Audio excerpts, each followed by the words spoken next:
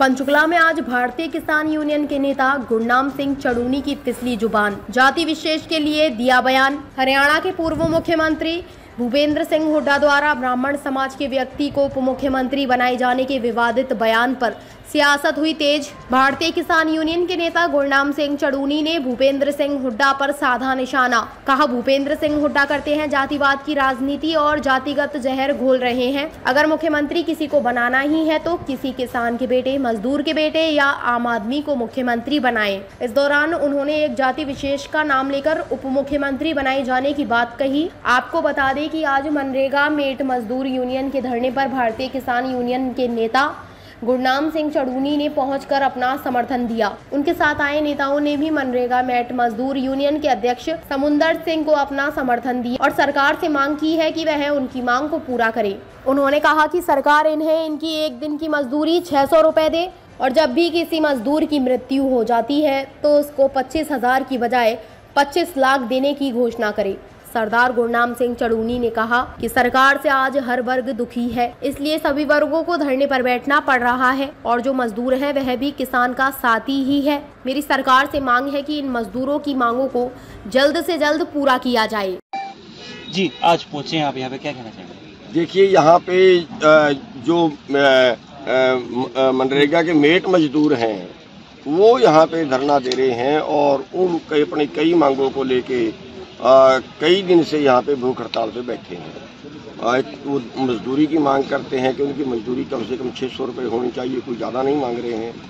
या उनको सौ दिन का काम तीन सौ पैंसठ दिन का काम मिल जाए उनको काम भी सौ दिन का ही मिल रहा है कोई काम करते अगर वहाँ पे कोई हादसा हो जाता है परमात्मा को प्यारा हो जाता है उसको केवल वो पच्चीस हज़ार रुपये दे रहे हैं शर्मनाक ही है।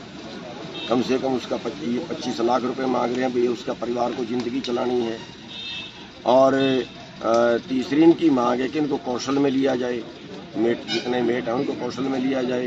उन्हीं को मांगने की गलत नहीं है। तो इनकी बात सुनने के लिए ही कोई आज तक नहीं आया। ये यहाँ पे बैठे हैं, अनशन पे बैठे हैं, जान हथेली पे रख के बैठे हैं। और हम आज इनकी सपोर्ट करने के लिए आए हैं, सरकार को बताने के लिए आए हैं कि ये अकेले नहीं है। देश का किसान, हरियाणा का किसान भी इनके साथ में है और क्योंकि किसान और मजदूर छोटे बड़े भाई हैं, हम एक ही गाँव के रहने वाले हैं, एक ही गाँव में पड़े बड़े हैं। तो किसान बड़ा भाई है तो मजदूर छोटा भाई है, जहाँ भी मजदूरों को दिक्कत आएगी, हरियाणा का किसान के साथ में खड़ेगा और जहाँ किसान को दिक्कत आएगी, वहाँ मजदूर उनके साथ में खड़ेगा। तो आप जहाँ खड़े हैं, यहाँ पे कितने सारे टेंट लगे हुए महिलाएँ, बच्चे सब धरना दे रहे हैं तो सरकार को कैसे देखते हैं इसमें सरकार को क्या देखे? सरकार तो बेशर्म हो गई है। वो कई बार हम शहर से गुजरते हैं तो वहाँ पे सब डीसीओ आगे वो लाल झंडे वाले बैठे हैं कौन से है वो? नहीं, कम्युनिस्ट पार्टी वाले तो हैं। वो वो आशा वर्कर। वो बेचारे कितने दिनों से बैठे हैं, कोई सोचता ही नहीं। यहाँ देखिए, एक, दो, तीन, चार, पाँच छः सात, आठ आठ धरने यहाँ पे चल रहे हैं। सरकार का क्या काम होता है? सरकार को जनता की बात सुननी। और जनता का समाधान करना होता है, सरकार इसीलिए तो बनाई जाती है। सरकार इसलिए थोड़ी बनाई जाती है कि जब हम मजबूर हो जाएँगे, तब सुन लेंगे। अगर आप हमें मजदूर मजबूर नहीं कर सकते तो हम नहीं सुनेंगे। अनशन पे बैठे हैं आठ दिन से तो भी सरकार नहीं सुनती। आखिर किसके लिए सरकार बनती है? तो बड़ी शर्म की बात है कि ये सरकार जो है, वो देश की जनता की सरकार नहीं है। ये सरकार कारपोरेट की सरकार है। सारा देश का बजट उन पे लगा दिया, सारा बैंकों का पैसा उनको दान कर दिया, सारी कंपनियाँ उनके हवाले कर दी, सारे देश की प्रॉपर्टी बंदरगाहें रेलवे कंपनियाँ बैंक सब उनके हवाले कर दिए। पंजीपतियों की सरकार है, यहाँ मजदूर, यहाँ किसान, यहाँ छोटा दुकानदार, सबका जो है वो शोषण हो रहा है। और अब तो पढ़ते पढ़ते भाई पत्रकारों का भी नंबर पड़ गया। एक अपने पूर्व मुख्यमंत्री भूपेंद्र सिंह हुड्डा जी ने कहा कि डिप्टी सीएम ब्राह्मण को बनाऊँगा इस पर क्या राय रखते हैं आपने? देखिए हम आके यहीं मरते हैं। हम जातिवाद का इतना हमें बढ़ावा देते हैं ये जातिवाद पे धर्मवाद पे बस हम वहीं उठ के रह जाते हैं। अब ब्राह्मण को बनाने से क्या सारे ब्राह्मण अमीर हो जाएँगे? जाट को बनाने से क्या सारे जाट अमीर हो जाएँगे? अगर चमार बना दिए तो क्या सारे चमार अमीर हो जाएँगे? अब चमार करने से मुकदमा ही मत बना देना यही बोलते हैं चमार कहा करो? तो उस अब ये तो हमें हमारा जो जो चर्चा चलनी चाहिए चुनाव में वो चलनी चाहिए आर्थिक मुद्दों की तेईस करोड़ लोग हमारे देश में भूखे क्यों हैं? उन भूखों में से किसी को मुख्यमंत्री बनाए? बनाए स्वाद आ जाए बात का। ये किसी किसान को जो है, जो टोटे में किसान हो। एक तो किसान होता है, जैसे वो बीजेपी वाला मंत्री था, पीछे छह हज़ार करोड़ का, छह हज़ार एकड़ का मालिक है। वो किसान नहीं, जो किसान हो, दो एकड़ का मालिक। मेरे पे मत लगा देना कि अपने आप को बोल रहे हैं।